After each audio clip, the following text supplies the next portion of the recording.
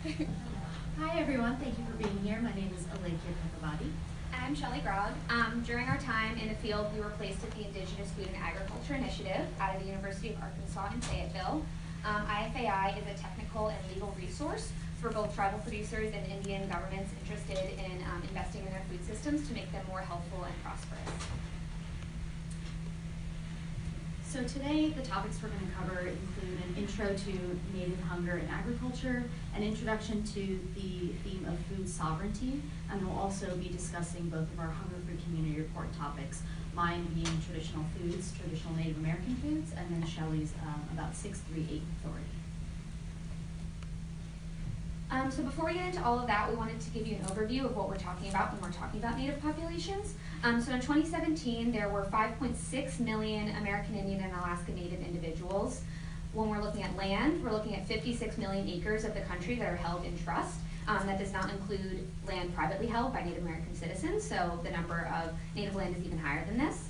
Um, and additionally, there are 573 um, federally recognized tribes. So a lot of times we like to group together Native populations because of their shared history of colonization and the lasting impacts of a lot of the policies that the United States has had against um, Native people. Um, but while they share this in common, there is a lot of um, difference within these communities. So it's important to remember that when we're looking at tribes and when we're talking about Native people, um, there's not a single story. Some background on hunger in Native communities. Among the 26 top population uh, American Indian counties, the food insecurity rate was just over 20%. When you compare this to the national average of 15.1%, you can definitely see that there is a difference there. The map below is one that Shelli and I created. We created a map um, of food insecurity rates by county. You can see the different shades of blue. And then we also overlaid the tribal land boundaries over that so you can see where there are pockets of more concentrated food insecurity. The food distribution program on Indian reservations is one of two nutri important nutrition assistance programs that are used by Native American communities. Uh, this is, program is an alternative to SNAP in some rural communities and reservation communities. They don't have access to SNAP authorized retailers, so this program provides commodity food packages to those requiring nutrition assistance. This program serves about 90,000 participants per month but SNAP is also really important. We see that just over a quarter of 20 or of Native American households receive SNAP benefits every month, compared to just 13% of households nationwide. So an important part of our work at the Indigenous Food and Agriculture Initiative was focusing not on just hunger, but on the production of food by Native farmers. So when we're looking at the scope of Native producers, 2% of all farms in the U.S. are held by Native Americans. Um, and they own 6% of all the farmland. So their farms are about two times the size of the average American farm, which means there's a lot of promise and um, undertapped resources within this community. Um, and again, there's, there's nearly 72,000 um, American Indian and Alaska Native farmers. However, there's a lot of disparity in these groups. So if you look at this uh, chart over here, um, you can see that the darker line, or the darker part of the bar is American Indian and Alaska Native farms, and the lighter color is non-American Indian and Alaska Native farmers. Um, this is just looking at farms on reservation land, but as you can see, non-native farmers um, are renting about 25% of all farms on reservation land. Um, they're controlling less than 30% of the acres of those farmland, but they're accounting for over 80% of the market value. So the farms that are being run by non-native farmers on reservation land are making vastly more money than the farms that are run by native farmers themselves.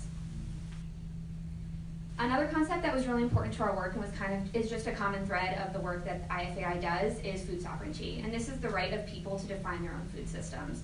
So when you're thinking about food sovereignty, you're really putting people at the center of food systems instead of um, special interests and profits. Uh, it values producers as well as consumers, localizing markets, uh, intergenerational knowledge sharing, and sustainability. Oh, and um, while this is a term that has been used a lot in food justice spaces. It holds particular weight in Native communities where there is both the historical and legal precedent of sovereignty of tribal nations. We had the opportunity to see food sovereignty in practice when we visited the Quapaw Nation of Oklahoma. We visited the tribe and were able to tour their greenhouses, meat processing facilities, coffee roastery, all sorts of facilities where they're producing foods that's, that's going directly back into their communities. So this was an incredible opportunity for us to see food sovereignty in practice and a great model for other tribes to take on as well. The community, the Hunger Free Community Report that I wrote focused on the nutritional value and health benefits of traditional Native American foods for Native American communities. This is really important because uh, there has been a change over the past few centuries in the diets of Native American populations that has led to a lot of the health disparities that we see today. My report focuses on foods from various regions, highlighting their nutritional value and their the opportunities that exist um, when reintroducing those foods into diet to rebuild indigenous health. This is one example of some of the foods that I spoke of in my report. Uh, king salmon and sockeye salmon are just a few examples of meat or protein sources that are much higher in omega-3 fatty acids than a lot of our conventional protein sources that are commonly eaten in Native American communities. They're, this, now, these foods are specific to the Pacific Northwest and Alaskan tribes, so this is not um, fit for all communities, but just one example of traditional foods that have a lot of nutritional value and can provide a lot of mental and physical benefits for Native American populations. So my report that I did was on 638 authority. So 638 authority enables tribes to take over control of federal programs, services, activities, and functions. Um, I'm not going to get into all the nitty gritty technical details, but um, essentially it operates almost like a block grant, wherein tribes are passed money from the federal government that otherwise the federal government would have run the program and instead passes the control to the tribal organizations that can operate either in a regional consortium or individually um, as a tribal entity in order to administer those programs. Um, this, ena this enables them to tailor the program to their community's needs, focus on their own priorities, um, and within the 2018 Farm Bill, this authorized pilot programs to bring these 638 contracts to the USDA. Previously, uh, it has only been legal to use, to legal to be used within the Indian Health Services and the Department of Interior. Um, it's widely used by tribes within those departments. Over 300 tribes currently use 638 contracts and compacts. Um, and an IHS study found that when using 638 contracts and compacts, it increased participation, led to more comprehensive approaches, was more responsive to community needs, improved coordination, led to innovation, and increased efficiency and decreased service duplication. So there's a lot of promise that can come from these 638 contracts and passing this control to tribal entities. Um, and within the USDA, it has the potential to be a tool for fully realizing this idea of food sovereignty in Native communities. So one of the places it's, it's been piloted is the food distribution program on Indian reservations that Alekya spoke about earlier. Um, and so some examples of how this pilot project for 638 Authority in FDIPR um, can be seen is including tribal-specific traditional foods into food packages. So again, as Alekya mentioned, um, traditional foods have a lot of health benefits, and um, they are not the same for all tribal nations. As we talked about earlier, there's nearly 600 federally recognized tribes, and all of those tribes have very different histories and very different regions that they come from, which allow them to access different foods. And so by enabling tribes to have control over the food distribution program, that enables them to design their own food packages um, and incorporate more of their specific traditional foods. It also allows for regional coordination, decreasing some of the inefficiencies that happen when the program is operating at the federal level. And also, going back to native producers, it allows um, tribes to invest in their own local native producers to help uh, with economic development of their communities. And finally, we want to touch on some of the things that we've learned over the course of our field placement, um, learning how to be a better ally to the Native American community. First of which is the disaggregation of data. Oftentimes we see that data is not disaggregated, and a lot of times Native American communities are also left out of those breakdowns when we're talking about race. So it's really important for us to break down uh, by race in order to highlight potential disparities and also better address those disparities. Another point that we wanted to bring up is emphasizing inclusion, bringing Indigenous voices forward to highlight their stories and perspectives and knowledge. Um, this is not to imply that this should be done in an extractive or tokenizing way, but rather by building um, sustained relationships um, with organizations that already exist, such as the Indigenous Food and Agriculture Initiative, um, in order to get a better understanding and build these long-term relationships. Educating yourself is also really important, and this is what we've been doing over the past six months at our field placement, learning more about the unique challenges and cultures and histories of tribes to understand how we can better serve them, and also to reverse the erasure of indigenous history that has happened over the past few centuries, bringing awareness to their continued presence in our country. And finally, as I mentioned earlier, resisting the single story, um, stereotyping Native people into one one category rather than um, recognizing the huge, vast differences that exist across tribes and within tribes as well. Um, and this, again, extends to trying to create one-size-fits-all solutions that are going to work for everyone within Indian country when that is not the case. Um, these are some of our sources. Um, if you have questions about where we got some of our facts and figures, um, feel free to let us know. We can connect you to those sources, and we have some time for questions.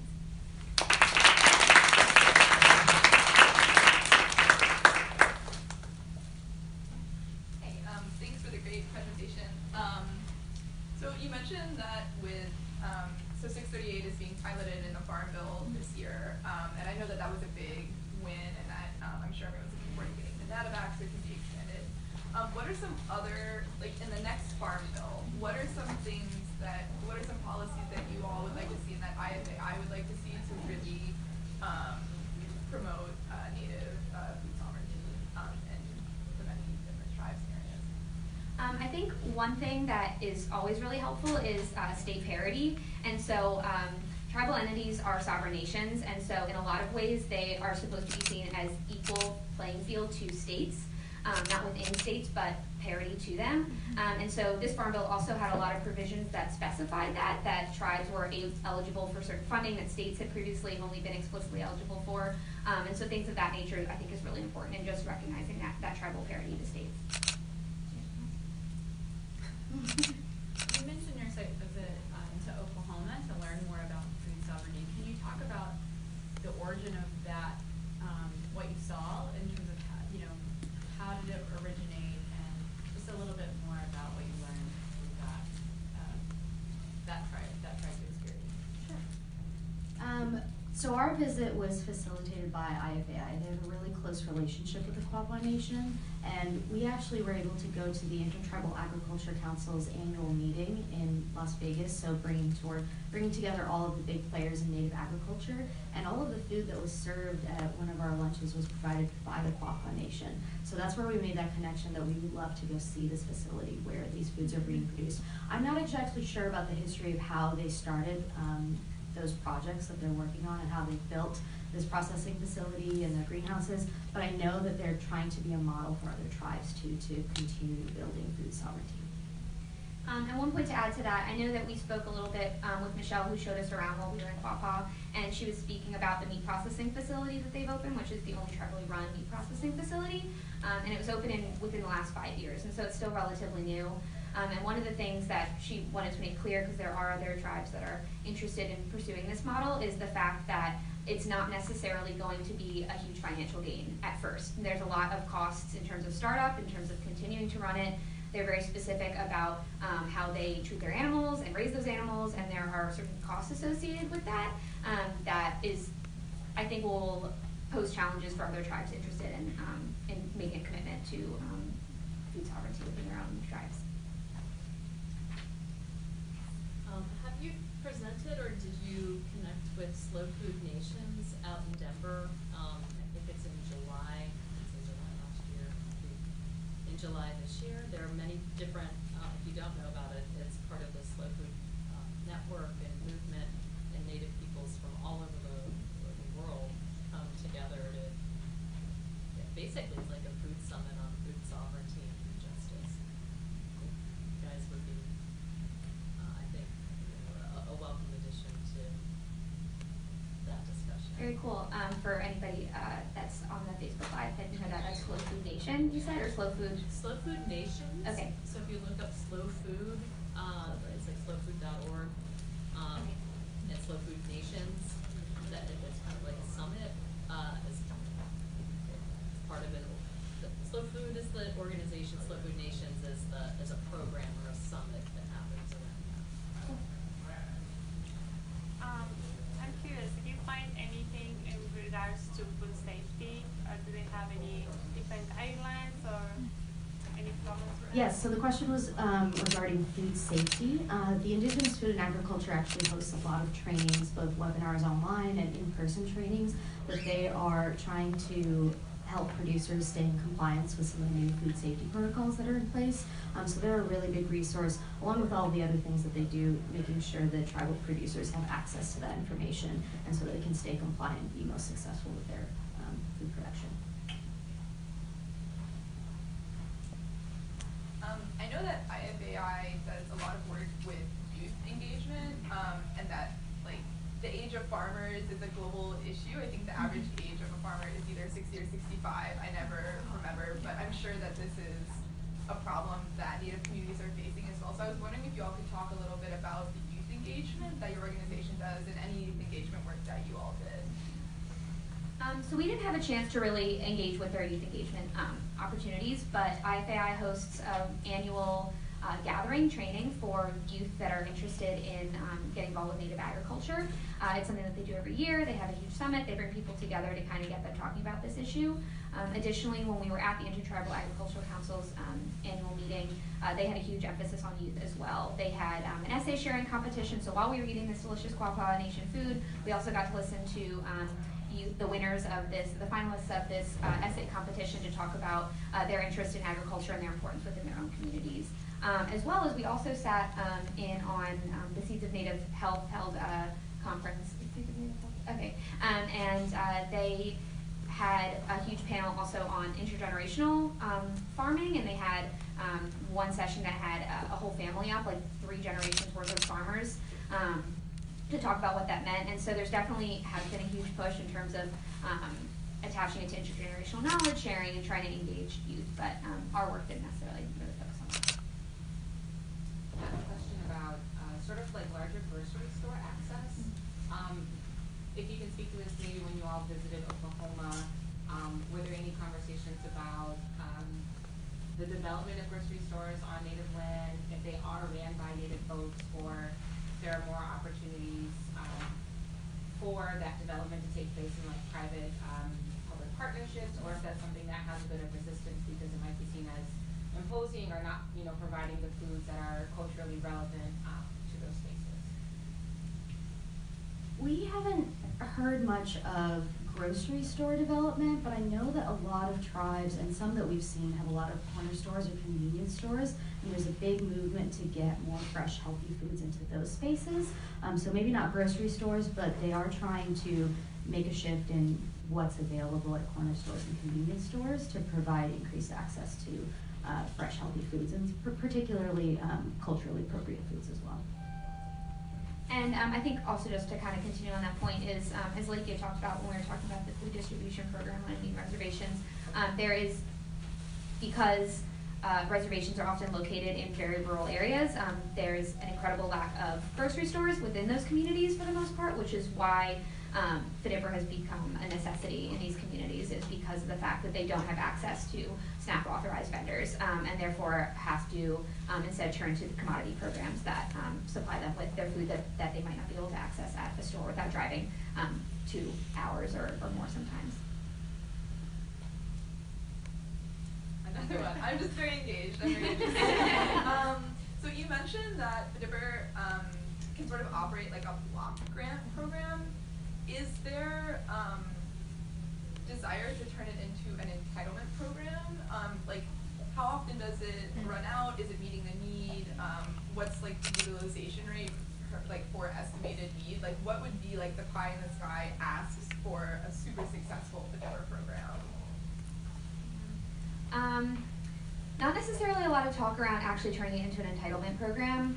Um, one thing to note though is the fact that um, even looking at the most recent um, shutdown, the government shutdown, and how that impacted services, um, there's a lot of concern about. Thankfully, food had been ordered enough in advance that it wasn't going to be damaged, but um, there was a lot of concern amongst um, Native folks in terms of if food was going to last, how long it was going to last, how ordering was going to happen, how distribution from the warehouses was going to go. Um, so challenges like that in terms of funding is definitely something that um, I know that is top of mind. I will say also, as of now, there are only two distribution warehouses in the entire United States for the FIDIPR program. So all of the food from that for that program comes from two places and goes out to the rest of the country. So in terms of funding, I think, I mean, there, uh, one of the students at the University of Arkansas, where the Indigenous Food and Agriculture Initiative is, did a report on um, regional warehouses, transferring to a model like that, that would actually make the program more efficient and save money, actually. So I think in terms of more funding, I, with using the same amount of funding, we would be able to make the program more efficient. So it's, I don't think it's an idea of trying to get more funding. I mean, I, I think the program could use more funding, um, but also maybe shifting how the food is distribu- distributed and from where is important too. And tying that back into six thirty-eight authority, um, kind of just looking at, uh, the fact that, again, because there are these two regional centers, local procurement is pretty difficult because in order to source food, it has to go back to these warehouses in order to be distributed again. So food is traveling very, very far out of communities in order to even come back into it, um, which I think is one of the reasons that, um, potentially six thirty-eight is a huge opportunity to kind of help just keep that food within communities rather than having to do, um, this inefficiency of traveling out and then back in.